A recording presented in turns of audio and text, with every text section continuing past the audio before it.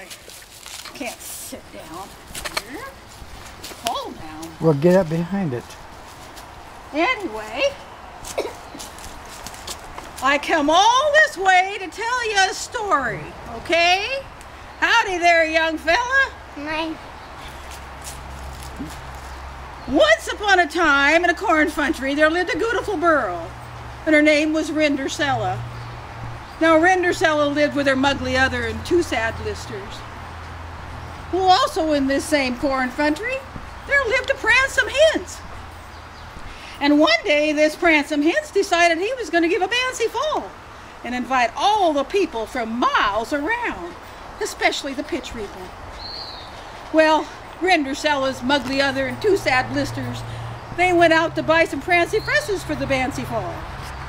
But Rindercella couldn't go because all she had to wear were some old ruddy dags. So she just cat down and tried.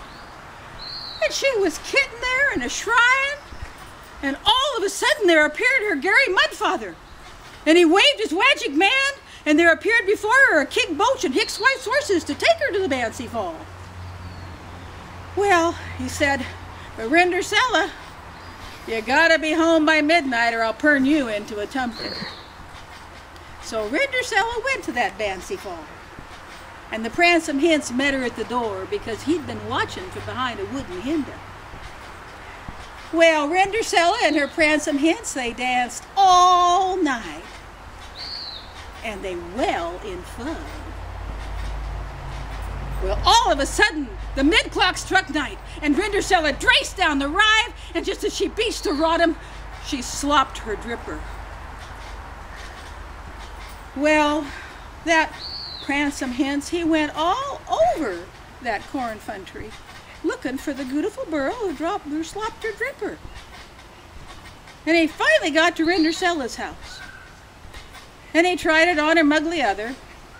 It fitted it. He tried it on her two siggly esters. It fitted it.